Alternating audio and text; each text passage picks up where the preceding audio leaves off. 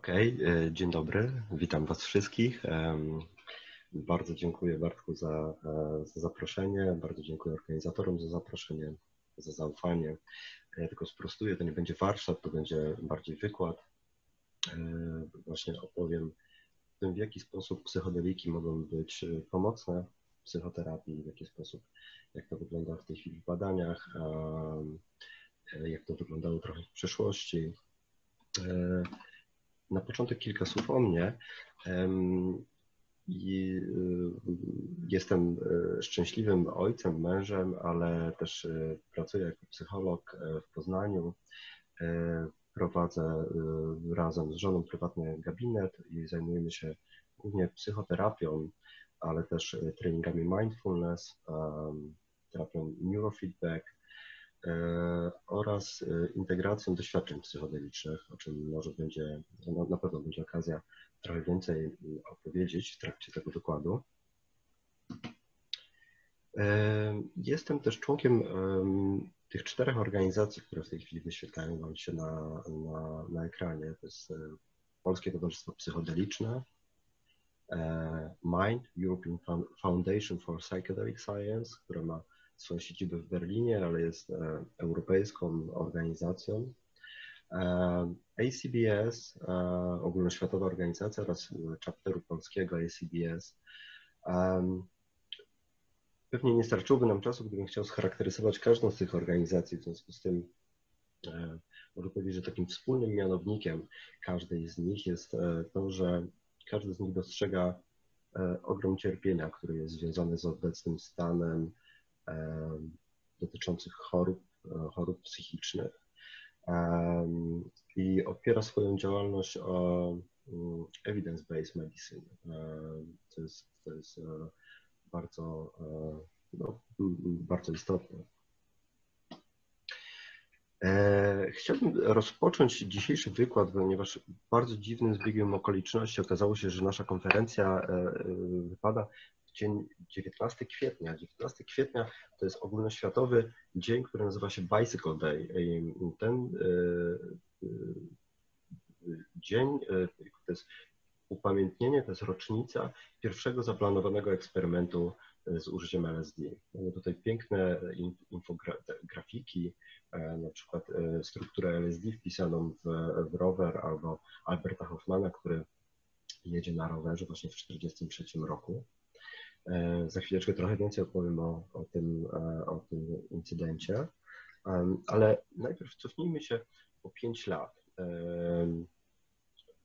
Właśnie 5 lat e, wcześniej, czyli w 1938 roku, Albert Hoffman dokonał syntezy LSD. Nie poszukiwał żadnej substancji psychoaktywnej, poszukiwał substancji, która będzie mm, pomagać, będzie lekiem na krążenie. Ale pierwsze badania, e, e, trzeba też powiedzieć o tym, że działo się to w Bazylei, w laboratoriach firmy Sandoz, farmaceutycznej firmy Sandoz.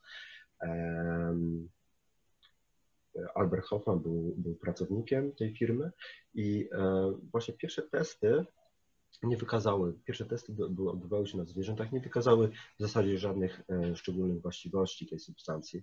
W związku z tym została substancja jakby odłożona do archiwum. A jak Albert Hoffman pisał w później swojej biografii, mówi, że mm, coś go niepokoiło, coś go tknęło. Miał wrażenie, że coś przegapił, coś bardzo istotnego. W związku z tym pięć lat później, 16 kwietnia, mm, dokonał ponownej syntezy LSD. Następnego dnia e, zapisał w swoim dzienniku e, taką, taką notatkę. Ostatni piątek, 16 kwietnia po południu. Musiałem przerwać pracę i udać się do domu, ponieważ dopadła mnie silna niemoc połączona z delikatnymi zawrotami głowy. Kiedy wreszcie się położyłem, owładnął mną dość przyjemny, przypominający upojenie stan, który charakteryzował się krańcowym rozbudzeniem wyobraźni. Pod zamkniętymi powiekami bez przerwy rozbłyskały fantastyczne obrazy. O niezwykłej plastyczności, intensywnej, kaleidoskopowej grze barw. Stan ten ustąpił samoistnie po upływie około pół godziny. Sam Hoffman nie do końca wiedział, w jaki sposób Znaczy od razu powiązał to z tą syntezą LSD, ale nie do końca wiedział, w jaki sposób ta substancja dostała się do jego ciała. To jakby w tej chwili mm, nigdy prawdopodobnie się tego nie dowiemy. Być może w jakiś sposób przez, e, przez skórę e, ta substancja dotarła e, do jego ciała.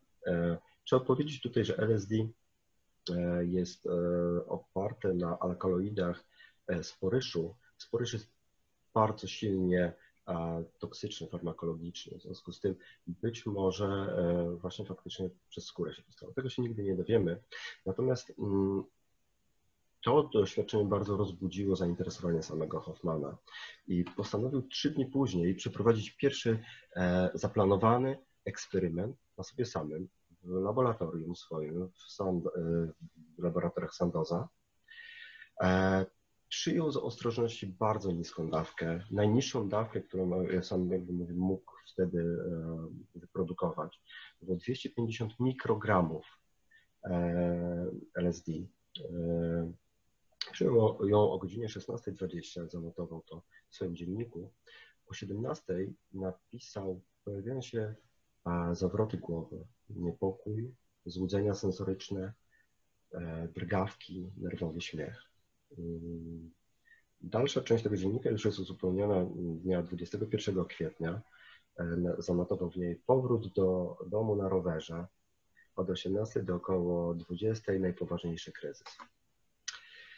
E, tu udało mi się jeszcze e, wrzucić piękną infografikę, która dzisiaj jest wrzucona przez Polskie Towarzystwo Psychodeliczne. Ja opowiem przy okazji, jak to wyglądało. Otóż Albert Hoffman, będąc jeszcze w laboratorium i doświadczając już coraz bardziej intensywnych skutków zażycia e, LSD, poprosił swoją asystentkę o to, żeby go mm, zawiozła do, do domu. E, użyli, jechali na rowerach. Sam Hoffman twierdził, że, e, że miał wrażenie, że stoi w miejscu, podczas gdy jego asystentka później relacjonowała, że jechali bardzo szybko.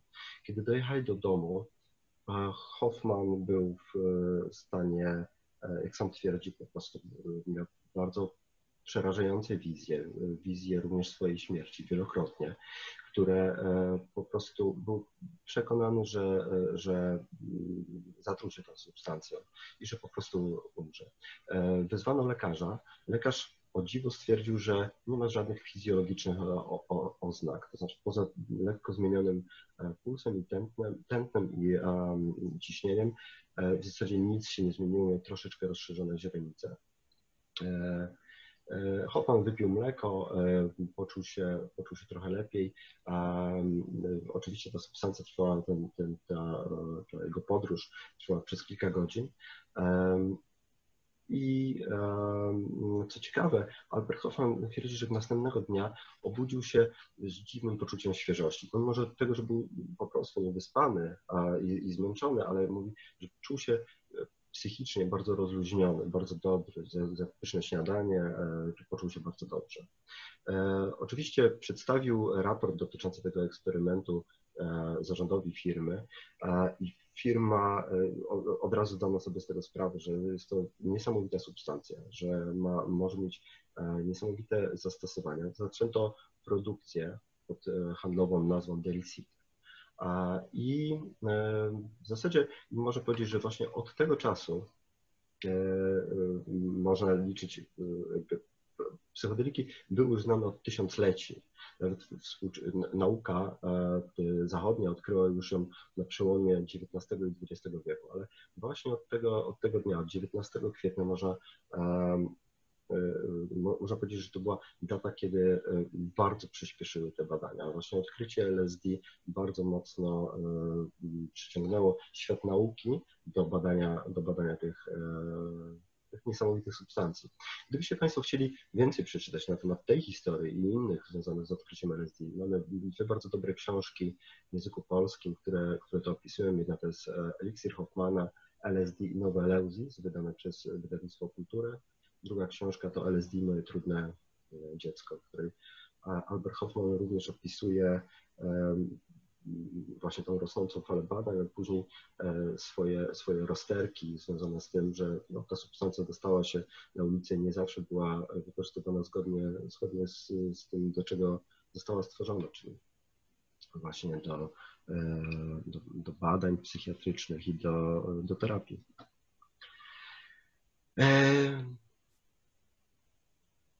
Do mniej więcej lat 60., 70. trwała e, eksplozja badań e, poświęcona, dotycząca LSD, ale nie tylko LSD, bo w latach 50. Hoffman e, wyizolował również psylocybinę z mm, grzybów meksykańskich, aktywny składnik psychodeliczny, który działa dosyć podobnie do, do LSD. W tym czasie opublikowano wiele badań, 700, ponad 700 badań naukowych e, na temat, e, na temat LSD. E, kilka tysięcy uczestników tych badań było leczonych w różnych obszarach, w obszarach neuroz, depresji, traum uzależnień, również traum um, ofiar Holokaustu, ofiar oświęcimskich, ofiar, ofiar obozów koncentracyjnych. Niestety w połowie lat 60. E, ta substancja wymknęła się spod kontroli naukowców, wyciekła na, na ulicę i głównie z takich powodów e, właśnie wtedy bardzo restrykcyjna administracja nixonowska postanowiła wypowiedzieć wojnę narkotykom, która trwa w zasadzie do dziś i no, trzeba tutaj powiedzieć, że przyniosła prawdopodobnie więcej szkód niż y, pozytywnych rzeczy. W każdym razie w latach 60. badania nad psychodelikami zostały całkowicie mm, zamknięte. E, zamknięto wszystkie laboratoria. Ale to, co pozostało z tamtych lat, to mm, pomimo tego, że tamtym badaniom można zarzucić dużo pod względem metodologii, na przykład nie, były, nie było grup kontrolnych, nie było grup e, kontrolnych placebo, e, to wypracowano szereg eksperymentów, które, na których w tej chwili bazują um, naukowcy. Jest, jest wiele narzędzi, które, które właśnie w latach 50., 40., 50., 60. zostały właśnie wypracowane i są stosowane do dziś. W tym czasie wykształciły się dwa podejścia do używania, jeżeli chodzi o terapię, do, do, do, do psychodelików. One były uzależnione od dawki. Wykształciło się podejście, które dzisiaj nazywamy terapią psycholityczną. Litik oznacza rozluźniający, psyche umysł, a, czyli substancja, która e, właśnie to była niska lub średnia dawka i w trakcie tej terapii psycholitycznej ona, dzisiaj poruszamy się w języku bardziej um, terapii poznawczych i behawioralnych, w związku z tym ona mogła powodować stan zwiększonej elastyczności psychologicznej, ale gdybyśmy użyli języka, który wtedy obowiązywał w, w tamtych czasach, czyli paradygmatu bardziej psychoanalitycznego albo um, psychodynamicznego, to moglibyśmy powiedzieć, że e, ta substancja osłabiała mechanizmy obronne. W trakcie e, całej sesji możliwy był kontakt z terapeutą. Te sesje się odbywały mniej więcej e, co tydzień, było ich od kilkunastu do kilkudziesięciu e, i to było bardzo, bardzo ciekawe i mm, bardzo obiecujące podejście terapeutyczne, głównie stosowane w Europie.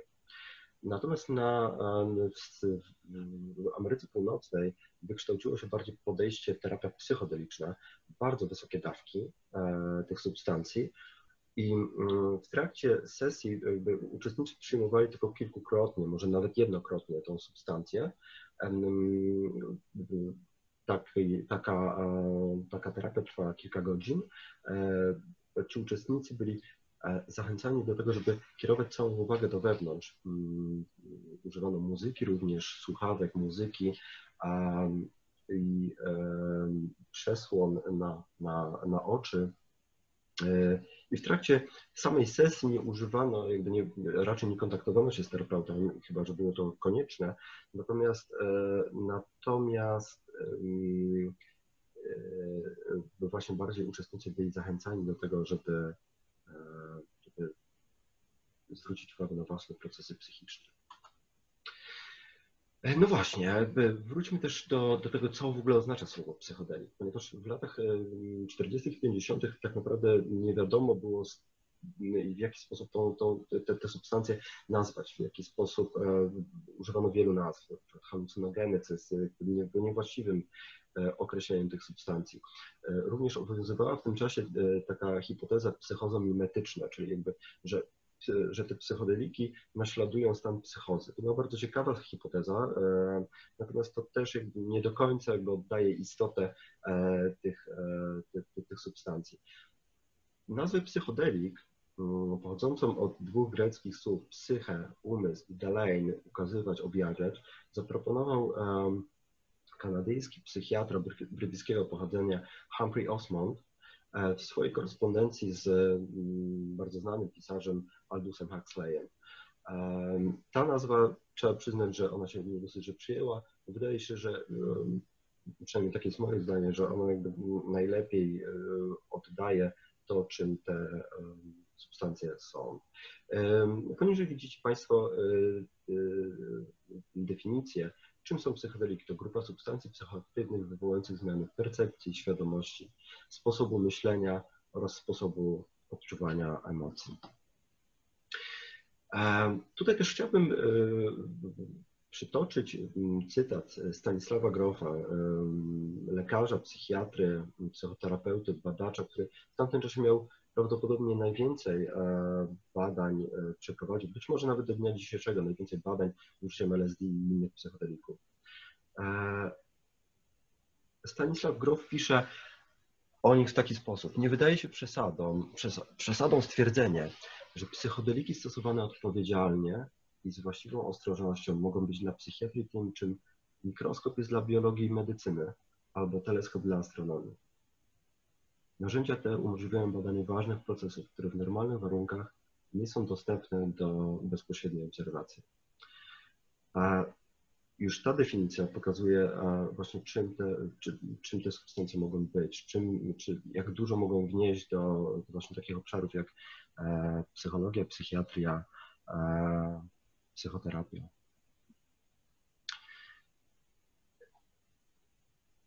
Mm, użyłem tutaj sformułowania, że to jest umowny podział substancji psychodelicznych, ponieważ e, tak naprawdę gdybyśmy chcieli używać mm, takiego, w, takim, w takim najbardziej dosłownym znaczeniu słowa psychodelik, to musielibyśmy ich używać tylko i wyłącznie do a właśnie do klasycznych psychodelików, do pozycji tutaj właśnie pierwszej, czyli do takich substancji jak LSD, psylocybina, DMT, również ayahuasca, która tym głównym takim psychoaktywnym um, składnikiem jest DMT, czyli dimethyltryptamina, również meskalina. Um, ale Niektórzy naukowcy poszerzają tą, tą, tą, tą definicję również o substancje, które no, nie do końca są psychodelikami, przynajmniej farmakologicznie. Takimi substancjami są na przykład empaktogeny albo inna nazwa entaktogeny. E, to jest na przykład MDMA. MDMA jest bardziej pochodną stymulantów, e, bardziej pochodną amfetamin, przynajmniej chemicznie, natomiast e, wytwarza również tak fenomenologicznie taki stan psychodeliczny, szczególnie w obszarze e, emocji. Tutaj nie będziemy mieli zbyt dużo miejsca do, do, e, do tego, żeby mówić o MDMA, ale już teraz powiem, że mm, e, MDMA wykazuje bardzo dużą skuteczność w leczeniu stresu pourazowego, PTSD w Stanach Zjednoczonych. Terapia z użyciem tej substancji prawdopodobnie będzie legalna już od 2022 roku. Prawdopodobnie, ponieważ w tej chwili trwa ostatnia faza badań nad, nad tą substancją, jest bardzo obiecujące są te badania. E, ale w dzisiejszym wykładzie skupimy się głównie na klasycznych psychodelikach. Również do tej, do tej grupy często są, e, często zaliczana ketamina, która jest dysocjantem, natomiast e, ona jest generalnie wykorzystywana w anestezjologii, ale też wykazała działanie skuteczność w leczeniu depresji e, i również, co ciekawe, zaburzeń afektywnych dwubiegunowych. Ketamina, e, tak jak powiedziałem, nie jest klasycznym e, psychodelikiem, ale też wywołuje stan psychodeliczny. Również kanabinoidy w wysokich dawkach mogą być podciągnięte pod tą de definicję. Również wykształca się z kilka bardzo ciekawych, obiecujących badań z zastosowaniem kanabinoidów w połączeniu z psychoterapią. w bardzo podobnym settingu właśnie do jak, jak, jak klasyczne, klasyczne psychodeliki. Zobaczymy. Mam nadzieję, że będzie kiedyś okazja może trochę więcej na temat również tych innych substancji powiedzieć. Jeżeli chodzi o współczesne badania, już przechodzimy do, do współczesnych badań, które, które zaczęły się mniej więcej um, na przełomie XIX, e, przepraszam, XX i XXI wieku. E, główne ośrodki e, to um, uniwersytety, przede wszystkim Johns Hopkins University w Stanach Zjednoczonych, w którym w ubiegłym roku powstał stały ośrodek badań nad psychodelikami. Drugi taki mm, ośrodek powstał u nas w Europie, w, w Londynie, przy Imperial Imperial College London ale również takie uniwersytety jak New York University, Yale, University of Zurich. E, w związku z tym jest e, to jest tylko kilka uniwersytetów, badań jest prowadzonych w tej chwili wiele, ponad, e, znaczy z jednej strony można powiedzieć, że jest ich dużo, z drugiej strony mało. Trzeba powiedzieć, że istnieją nadal bardzo potężne bariery prawne, bariery również finansowe, które uniemożliwiają prowadzenie e, tych badań. E, w zasadzie żadne badania nie są, albo są w bardzo niewielkim stopniu finansowane z publicznych pieniędzy, raczej to są e, pieniądze darczyńców, prywatnych inwestorów, którzy, którzy po prostu wierzą w, w te badania i, i finansują je z własnych, z własnych środków. Mm. Przechodzimy tutaj do bardzo ważnej kwestii, e, czy psychodeliki uzależniają. E, wiele osób, z którymi rozmawiam na temat psychodelików, mówią, no ale zaraz, zaraz, przecież to jest narkotyk, narkotyki to są substancje uzależniające. To w ogóle, w ogóle o, o czym my tutaj mówimy? Jakby trzeba powiedzieć mm, e, sobie o tym, że faktycznie mm, mm, słowo narkotyk wywołuje u większości z, z nas bardzo negatywne skojarzenia. Przyznam, że gdyby mnie ktoś 20 lat temu, y, albo nawet 15, gdyby zapytał w ogóle o, o, o to, to zareagowałbym w taki sam sposób, gdybym y, myślałbym, y, że LSD to jest substancja, która jest, można porównać ją z heroiną na przykład. Okazuje się, że klasyczne psychodeliki, badania pokazują, że klasyczne psychodeliki nie uzależniają w ogóle fizjologicznie w żadnym stopniu. Badania na zwierzętach, na ludziach również to potwierdziły. Zwierzęta w ogóle nie mają ochotę zażywać tych substancji, kiedy są, jakby mają pozostawione wybór. Również bardzo istotna sprawa, cechuje je bardzo niska toksyczność. Są bardzo dobrze tolerowane przez organizm, nawet u osób, które są chore, bardzo ciężko chore. I y, co jest też ważne, y, bo niektóre osoby mogą powiedzieć zaraz, zaraz, ale uzależniają psychicznie. Również to uzależnienie psychiczne jest, y, można powiedzieć, śladowe. Y, jest bardzo, naprawdę bardzo niski poziom. No właśnie, kiedy już jesteśmy przy uzależnieniach i przy toksyczności substancji, przy szkodliwości substancji, to trochę pośpieszyłem się tutaj z tym slajdem, ale mm, mnie on kiedyś bardzo zaskoczył. Proszę zauważyć, że pierwszą, y, najbardziej szkodliwą substancją jest alkohol. Są to badania przeprowadzone w 2010 roku przez Davida Nata w Wielkiej Brytanii, ale były one również przeprowadzane, replikowane wielokrotnie. E, gdy sumujemy skutki społeczne używania tych substancji skutki e, dla e, ich użytkowników, dla, dla otoczenia również, no to okazuje się, że alkohol, który jest legalną substancją, no niestety jest substancją najbardziej, najbardziej szkodliwą. Proszę też zwrócić uwagę, że na samym końcu mushrooms to jest właśnie psylocybina, to jest substancja psycho, e, to jest psychodelik właśnie e, oraz LSD, to są substancje, które są na samym, na samym końcu tej, tej listy. Co nie oznacza, i tu już chciałbym w tej chwili powiedzieć, że psychodeliki nie mają ryzyk. E, tak, te ryzyka są, również powiemy tutaj sobie na ten temat, ale na pewno nie są to ryzyka związane z toksycznością tych substancji albo z, e, z tym, że mogą uzależniać. Główne obszary współczesnych badań to jest e, głównie depresja, e, lekoodporna depresja, ale też depresja i lęk egzystencjalny osób w stanie, w stanie terminalnym.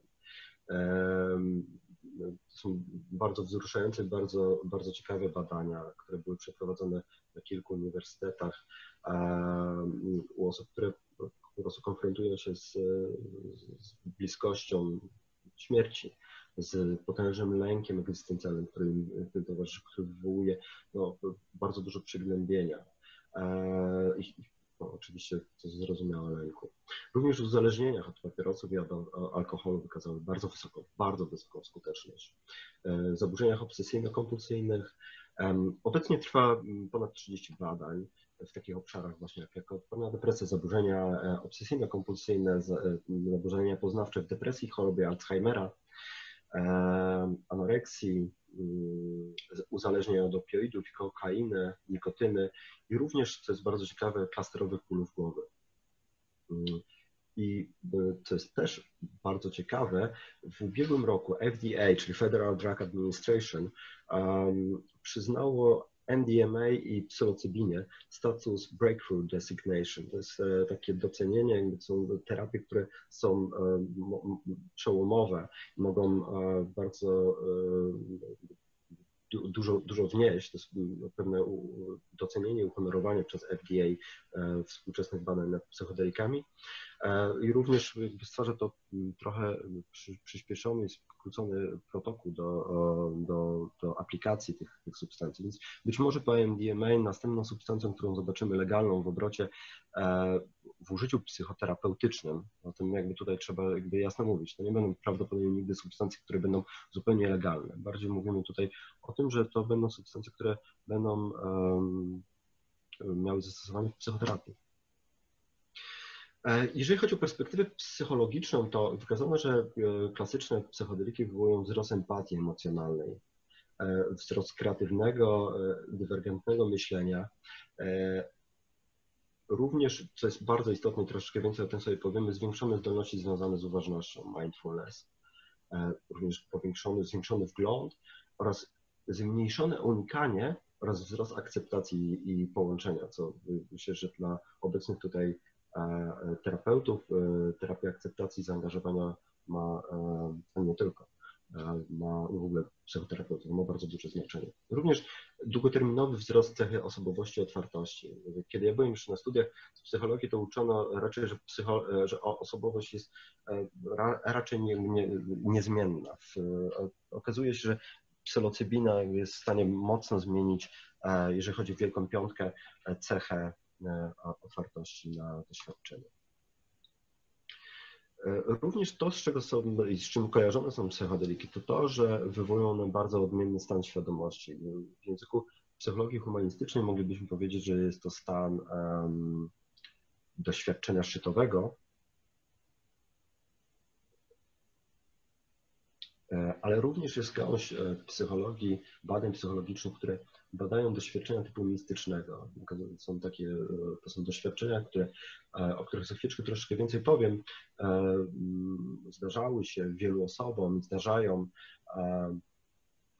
i okazuje się, że psylocybina wywołuje doświadczenia typu mistycznego, ale co więcej wykazano, że również to doświadczenie pośredniczy w terapeutycznym oddziaływaniu psylocybiny właśnie w lęku egzystencjalnym osób z diagnozą terminalną, w uzależnieniach oraz, e, oraz depresji. E, tutaj na zdjęciu, na poprzednim, na, na obecnym zdjęciu mamy e, Rolanda Griffitha, to jest przynajmniej jeden z moich ulubionych naukowców, psychofarmakolog, profesor John Hopkins University, mający bardzo wiele zasług. Przeprowadził wiele badań w obszarze psychodelików psylocybiny, właśnie głównie jeżeli chodzi o mistycyzm, ale też właśnie uzależnienia, lęk egzystencjalny osób z terminalną diagnozą. Jak on je definiuje, te doświadczenia mistyczne? Twierdzi, ich cechą charakterystyczną jest poczucie, że wszystko jest jednością oraz że wszystkie rzeczy i wszystkie osoby są ze sobą połączone. Wzbudza głęboki szacunek, a na dodatek są postrzegane jako święte i bardziej prawdziwe od codziennego stanu świadomości. Cechuje je również pozytywny nastrój, niewyrażalność oraz wykroczenie mm, oraz wrażenie wykroczenia poza czas i przestrzeń. Szczególnie właśnie tutaj niewyrażalność tych doświadczeń, a jest, jest taką cechą.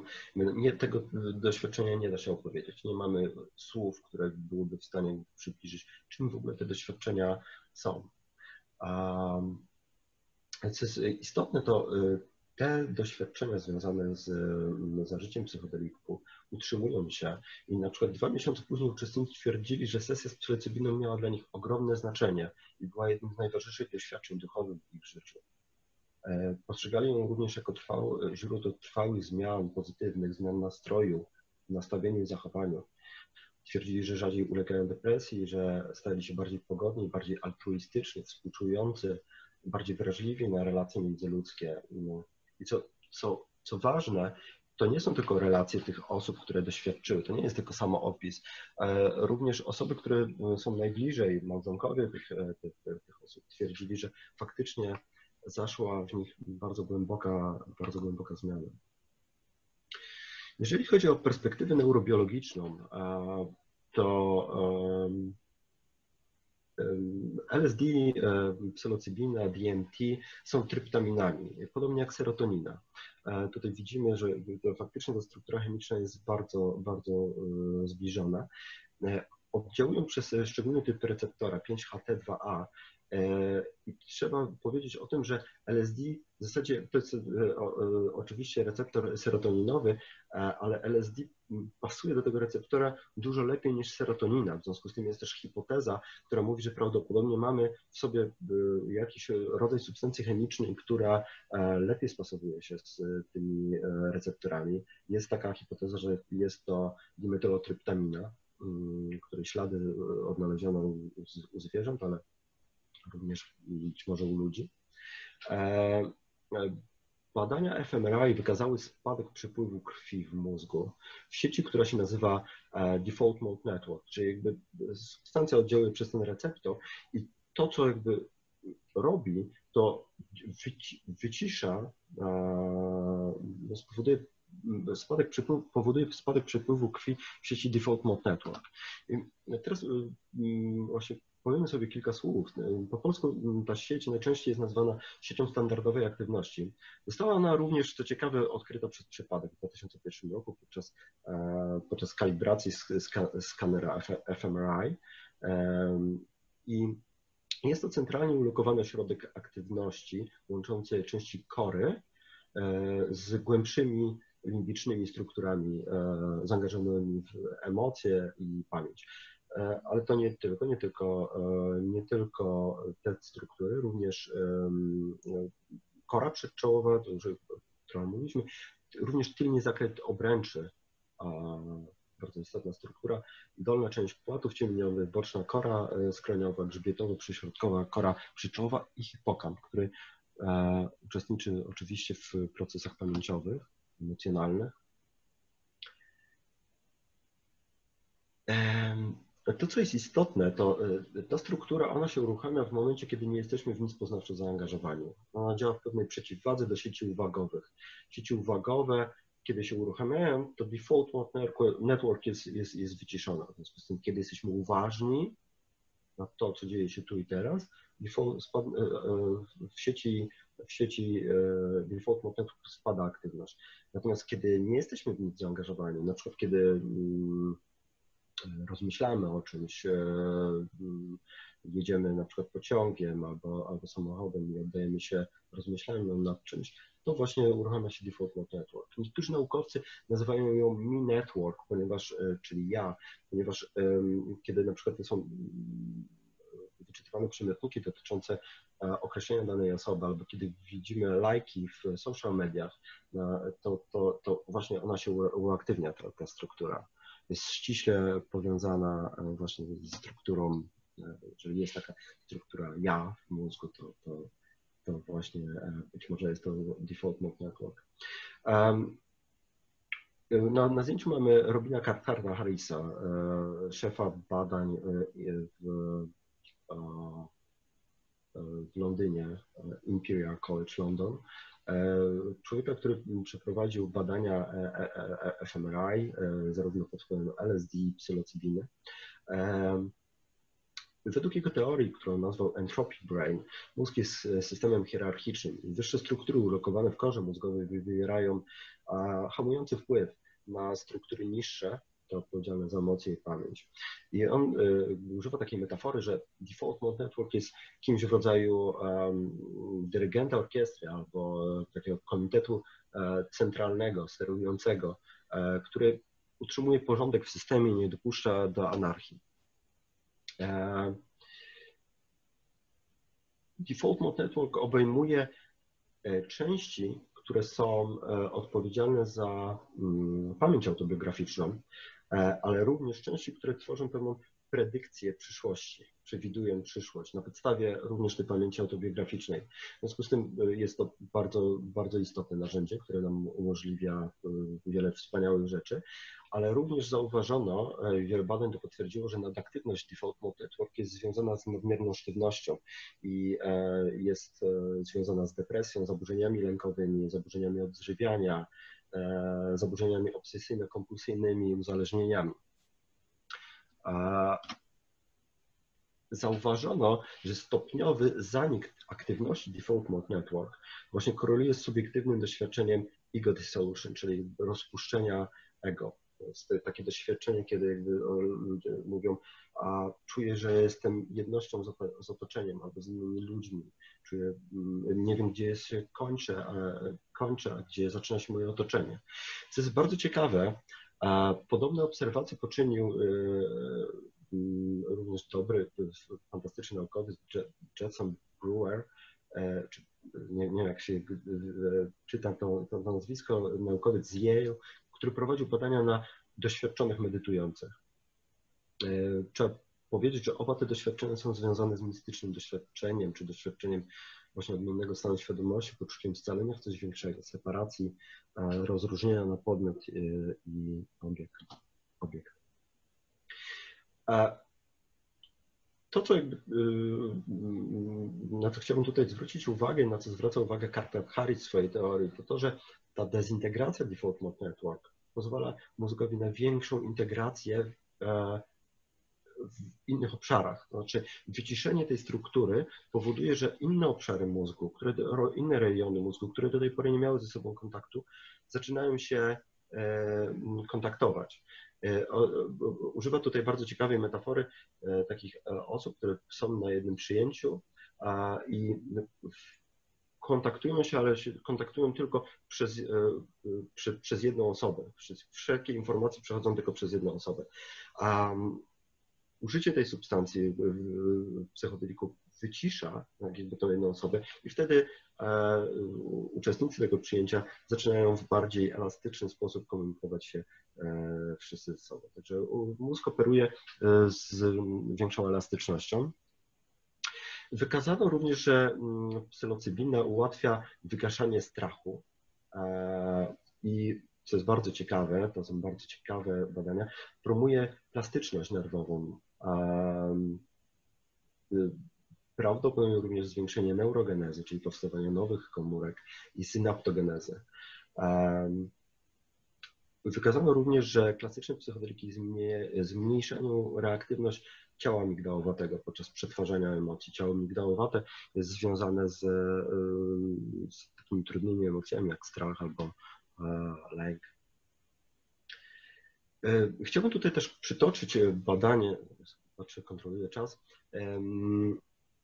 w jaki sposób, e, to jest jedno z najnowszych badań z drugiej połowy ubiegłego roku, to jest bardzo ciekawe, przeprowadzone przez Polaka Łukasza Śmigielskiego podczas pięciodniowego odosobnienia e, ekspertów medytacyjnych. Podzielono, podzielono grupę na, na grupę kontrolną placebo i grupę e, osób, którym podano e, psylocybinę. No, prawdopodobnie o tym można by było poświęcić temu cały wykład. Ja tylko mm, będę mógł powiedzieć o kilku takich kluczowych spostrzeżeniach. Po pierwsze, psylocybina zwiększyła głębokość medytacji u tych osób, nawet u doświadczonych. To były osoby, które miały um, tysiące godzin medytacji ze sobą.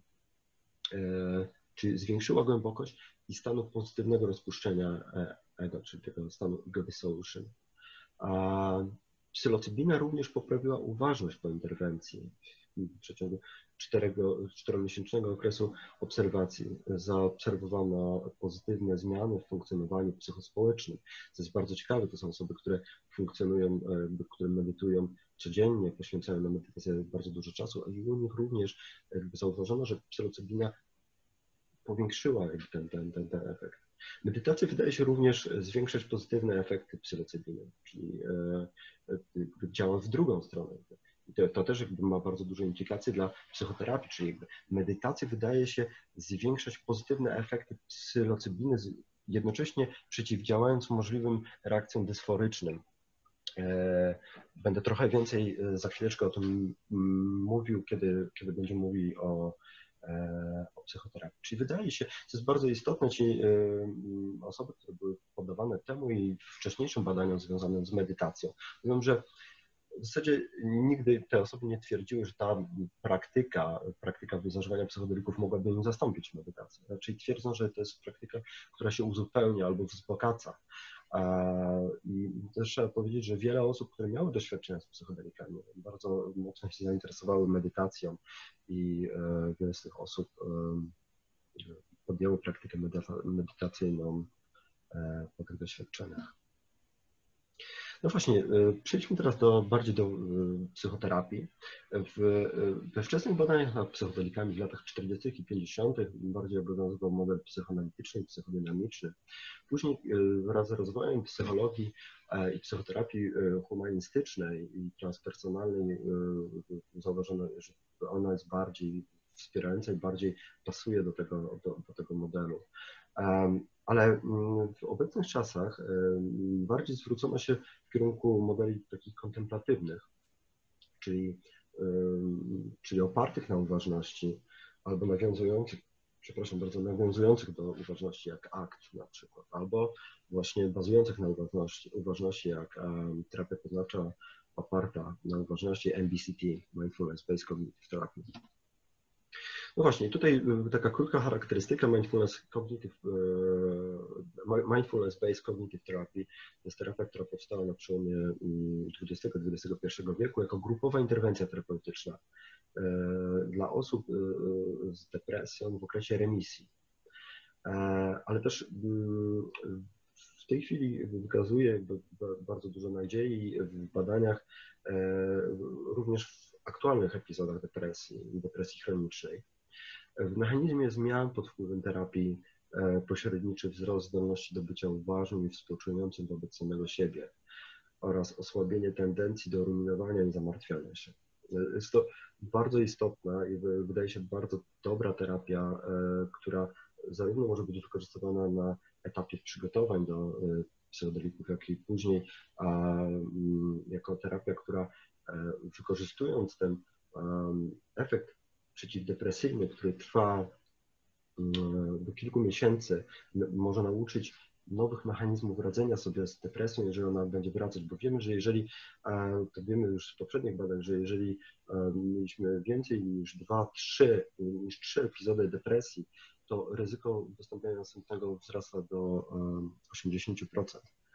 Także na pewno jest to rodzaj terapii, która miałaby tutaj bardzo duże zastosowanie i ma kilka e, ważnych uniwersytetów prowadzi w oparciu o ten model e, swoje badania. E, druga to jest terapia akceptacji i zaangażowania, która nie będę się tutaj skupiał na temat mówił zbyt dużo na temat tej, tej, tej terapii, bo nie mamy za bardzo dużo czasu, ale jest to bardzo ciekawy rodzaj terapii, ponieważ on nie koncentruje się na objawie, koncentruje się bardziej na rozwinięciu czegoś, co określa się jako elastyczność psychologiczną, czyli taką zdolność do kontaktu bycia tu i teraz, a swoimi myślami, uczuciami, objęciem ich akceptacją i skontaktowaniem się ze, ze swoimi wartościami. Tutaj mamy um, coś takiego, co się nazywa hexaflex, nawet um, coś takiego um, Stephen Hayes w swoim artykule o psychodelikach, który napisał ostatnio, który się znalazł w JCBS-ie,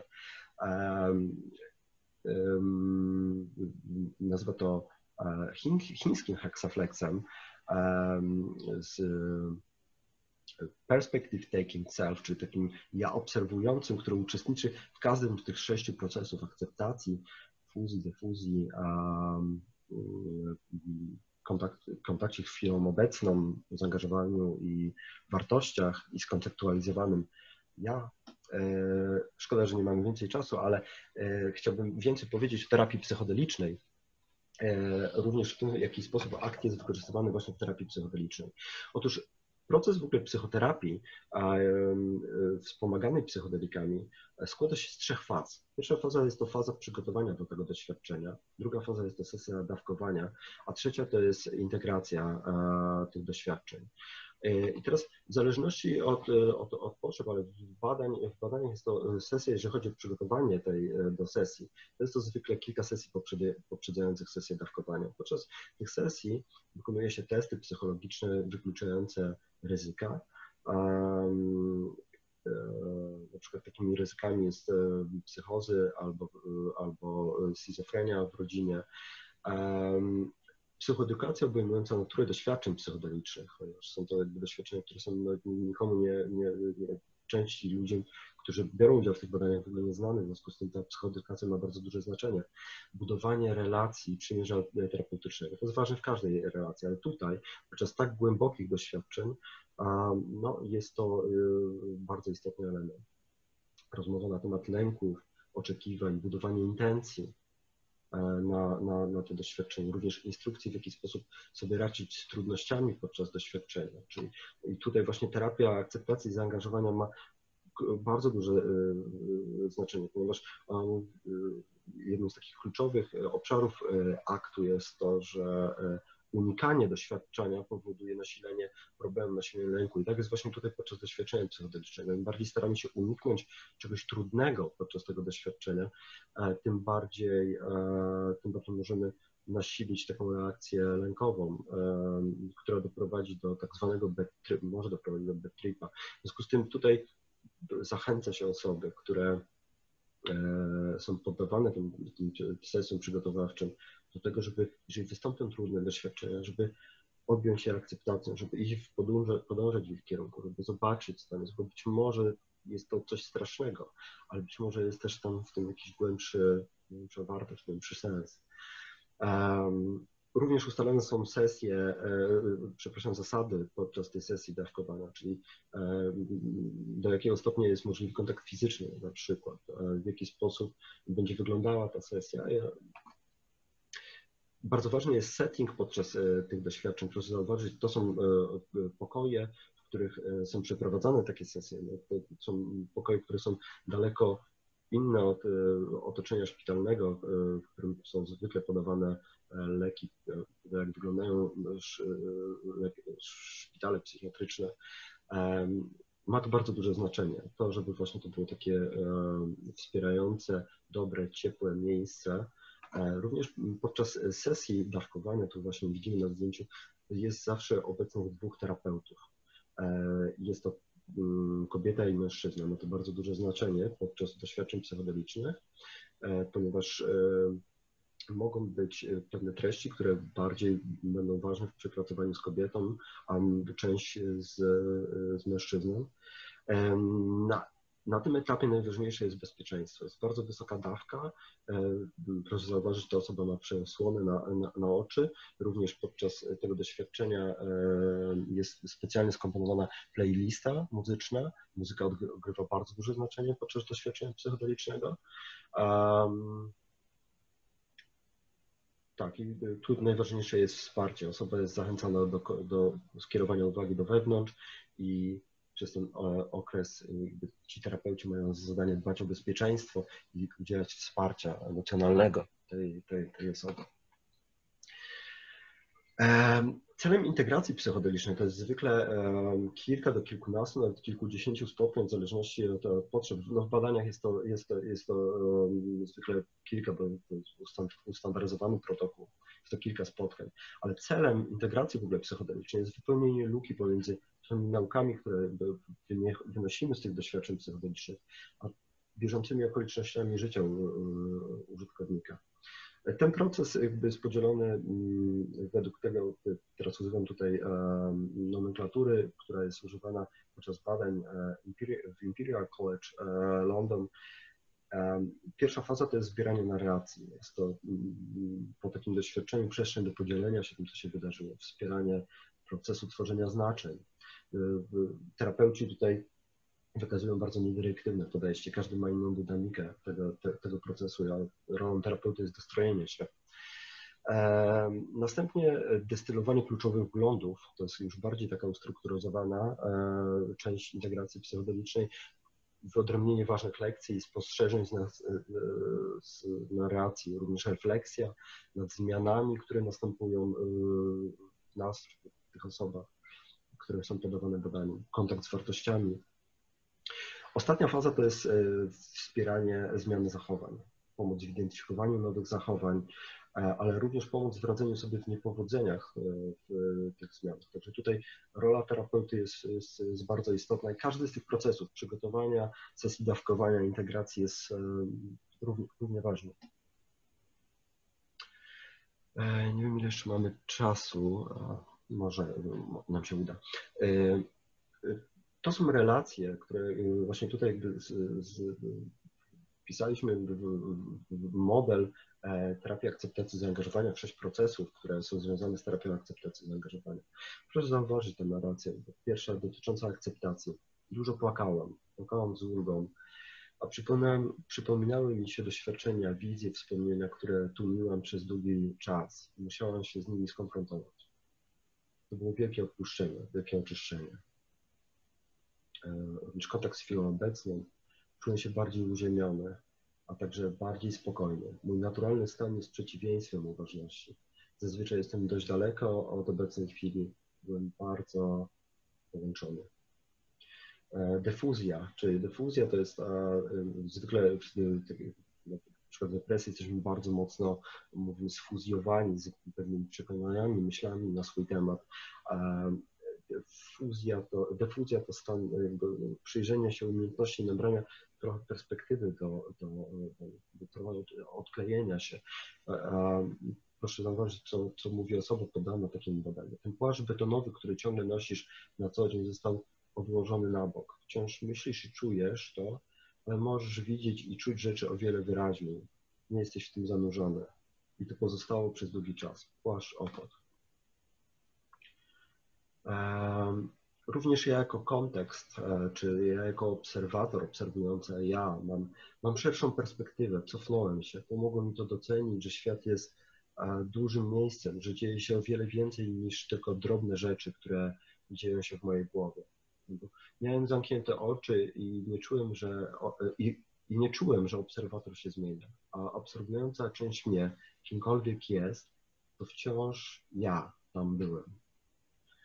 E, również widzimy kontakt z wartościami. E, to było tak, jakby ktoś właśnie zapalił światła w ciemnym domu. Nagle znów zobaczyłem swoje życie. Miałem nadzieję, byłem entuzjastyczny, znowu miałem w sobie życie. Jest e, bardzo wzruszające, ponieważ wiele tych osób od wielu, wielu, od kilkunastu lat w chronicznej depresji w strasznym cierpieniu. To, to były osoby, które nie odpowiadały, e, ponieważ to są narracje osób, które właśnie były w badaniu mm, dotyczących depresji, które e, no, nie doświadczały e, albo bardzo rzadko doświadczały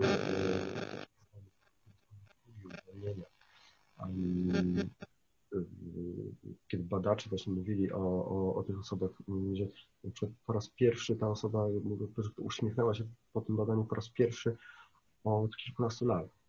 Również zaangażowane działanie, dawka pomogła mi zrozumieć moje cele w perspektywie krótkoterminowej. Dało mi to motywację i przejrzystość do zrobienia czegoś. Natychmiast zapisałem się na siłownię, na siłownię i znalazłem się w świecie pracy. Poddałem się rozmowie kwalifikacyjnej.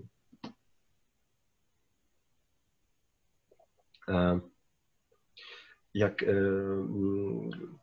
tutaj chciałbym wspomnieć o pewnym modelu, który jest w Szwajcarii. E, na przykład jest, są tam terapeuci, którzy posiadają specjalną rządową licencję na używanie LSD, również to są akurat badacze, którzy badali LSD w kontekście klinicznym, ale również prowadzą prywatną praktykę i mają taką licencję do, do, do tego, żeby jeżeli uważają to za stosowne, mogą użyć LSD albo MDMA i mm, terapeuci Peter Owen i Peter Gasser mówią o tym, że E, również możliwy jest format grupowy tej terapii i że zauważyli, że ta terapia również ma e, wysoką skuteczność. Taki model mógłby na pewno obniżyć e, spore koszty związane, związane z, tą, z tą terapią. OK, na koniec tej, tej konferencji obiecałem, tego wykładu, obiecałem, że powiem o ryzykach. Te ryzyka są głównie związane z niewłaściwym stosowaniem psychodelików. I o, o, o tym trzeba jasno mówić są substancje potężne, potężnie działające na psychikę. One nie mogą być e, zażywane dla zabawy. E, większość wypadków, które się wydarzyło e, pod wpływem tych substancji, bo zwykle właśnie to są to, to, są to ryzyka, to były osoby, które przyjęły bez wiedzy te, te substancje, bez właściwego przygotowania, niewłaściwym otoczeniu, bez wsparcia, przy nienależytym albo przy nienależytym wsparciu. Również bardzo istotna jest czystość substancji. To, że te substancje są nieuregulowane, całkowicie zakazane, powoduje, że no, krąży y, wiele substancji, które, które użytkownik tak naprawdę nie wie, co kupuje. Także um, tutaj też bardzo, bardzo istotna kwestia. Są pewne testy, które mogą, um, dzięki którym można sprawdzić czystość substancji. Um, również mm, ryzykiem właśnie takiego niewłaściwego używania tych substancji jest to, że mogą nasilić się pewne objawy lękowe, depresyjne, stany psychotyczne. Może wystąpić zespół stresu urozowego. Nawet mówi się o czymś takim jak post-ceremony stress disorder, czyli stres wywołany po ceremonii na przykład ayahuaskowych. Nie mówię, że wszystkie ceremonie ayahuaskowe są, są ale niektóre z nich są robione w standardach, które po prostu są całkowicie nieakceptowalne i e, no, mogą wyrządzić wiele, wiele szkód. Również e, z takimi osobami też, też, też pracujemy. E, także trzeba powiedzieć o tym, że te ryzyka są głównie związane z obecnym stanem prawnym, który całkowicie zabrania stosowania tych substancji, nawet do celów badań, nawet do celów terapeutycznych. Także mm, na pewno przed nami bardzo dużo działań zmierzających do tego, żeby zmienić ten stan prawny.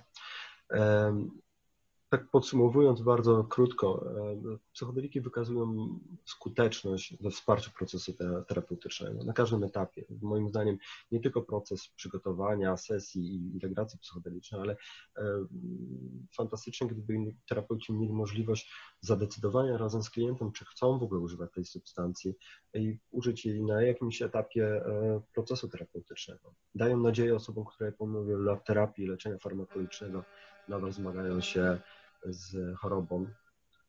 E, I to, co jest istotne, jakby nie mówiliśmy o MDMA, ale to jest może taki moment do tego, żeby sobie powiedzieć trochę o MDMA, czyli o substancji, która no właśnie jest e, głównie wykorzystywana w leczeniu e, czy w terapii stresu pourazowego, PTSD. Mechanizm działania tej substancji jest taki, że pozwala on osiągnąć stan optymalnej aktywizacji w trakcie procesu terapeutycznego. Co, co, co przez to rozumiem? To znaczy, bardzo często osoby w PTSD albo są tak bardzo mocno zalane, e, kiedy zaczynają opowiadać o tym doświadczeniu, tym intensywnością tego doświadczenia, że całkowicie e, przyjmują to nad nimi e, kontrolę, albo bardzo często są w stanie zamrożenia, są tak bardzo odcięte od tego, od tego doświadczenia, że po prostu nie są w stanie z nim się skontaktować. MDMA ma bardzo ciekawe działanie, ponieważ mm, jako stymulant stymuluje korę przedczołową, pozwalając być bardziej obecnym, bardziej obecnym tu i teraz, ale również wycisza ciało migdałowate, e, które mm, pozwala mm, obniżyć e, poziom lęku i wydziela bardzo dużo oksytocyny, która jest takim hormonem e, bliskości, pozwala zbudować e, szybko taką zaufanie i relacyjność, e, zaufanie relacje z terapeutą, przez co, mm, przez co no właśnie powoduje taki stan optymalnej aktywizacji. E, na koniec, gdzie szukać wartościowych informacji? E, na pewno Polskie Towarzystwo Psychodeliczne, również na naszej stronie psychodelicznaintegracja.pl. Są również tutaj takie organizacje jak MAPS, Hefter, MAPS, czyli Multidisciplinary Association for Psychedelic Science, jest tutaj strona Hefter Research Institute, Berkeley Foundation. To są główne organizacje, które od wielu, wielu, wielu lat walczą o, i zajmują się finansowaniem i wspieraniem badań psychodelicznych. Również ACBS opublikował ostatnio kilka bardzo ciekawych artykułów na temat, e, na temat psychodelików. E, również strona Mind Foundation for Psychedelic Science, European Foundation for Psychedelic Science. Tu jest bibliografia, gdybyście Państwo chcieli sięgnąć e, głębiej do tych badań. Także e, bardzo dziękuję. Bardzo dziękuję za, e, za jeszcze raz za zaproszenie, za możliwość opowiedzenia. Jeżeli są jakieś pytania, to chętnie jeszcze zostało nam 8 minut, chętnie na ten temat. Okej, okay, pytań jest bardzo dużo. Słyszysz mnie? Tak, tak, słyszę. Dobra. To um, jeśli pójdziemy za, to jest takie duże pytanie, czy częściowe, jeśli pójdziemy za tym, że zażywanie substancji psychodelicznej zwiększa empatię, to czy za każdym razem, kiedy, że, żeby wejść w empatyczny kontakt, będziemy musieli coś zażyć? Jeśli leczącym czynnikiem psychoterapii będzie relacja, a zawsze myślałam, że zbudowana na czysto, bo to też na czysto można budować podobne relacje z innymi ludźmi, to jaką mamy pewność, że pacjent, który przeżył coś mistycznego w cudzysłowie w relacji z terapeutą, będąc pod wpływem substancji, nie będzie, tak chciał, nie będzie chciał tak samo przeżywać właśnie relacji z innymi osobami. Czy są metanalizy? Przepraszam, przepraszam hmm? bardzo, bo ja, za, za dużo, tak? tak? To jest za dużo. Okay. Gdybym mógł prosić, żeby te pytania były krótsze. Możesz wrócić jeszcze do tego? Dobra, czyli tego? generalnie chodzi o to, na ile to, że pod wpływem psychodelików mamy zwiększoną na przykład empatię, jest czymś, co, popier- co nie będzie uzależniać tej osoby właśnie od wykorzystywania tych psychodelików. Jaki... Okej, okay, okay. dobra, możemy tu na chwilę, tak, tak. mogę, mogę... E, dobra. Większość osób, które były poddane e, badaniom, które uczestniczyło w badaniach e, zarówno w pierwszej, drugiej, trzeciej fazie dotyczących MDMA, bo właśnie tutaj mówimy o, o, o tym wpływie empatii, nie użyło tych substancji nigdy więcej. Deklarują, że jakby to był, to był tylko ten czas, w których, w których y, było, y, były te substancje użyte. Pomimo, że te osoby były w, w, grupie ryzyka, ponieważ w większości te osoby, które mają, miały PTSD, były uzależnione od jakiejś substancji, albo alkoholu, albo od y, marihuany, albo od opioidów.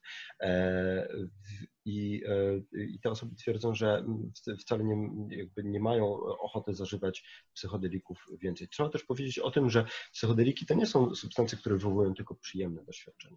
Większość tych e, doświadczeń to są, e, albo duża część tych doświadczeń to są bardzo trudne doświadczenia i wcale większość osób nie ma ochoty ich przeżywać często. Ten stan empatii to jest tylko jeden z podwyższonej empatii, to jest tylko jeden ze stanów, które, które można dzięki nim osiągnąć, ale podczas takiego doświadczenia również musimy skonfrontować się z bardzo trudnymi doświadczeniami, również emocjonalnie i wcale nie każdy ma ochotę jakby bardzo często przeżywać takie doświadczenia. Także mm, tak, mam nadzieję, Ty tutaj odpowiedziałeś na parę, parę innych pytań przy okazji.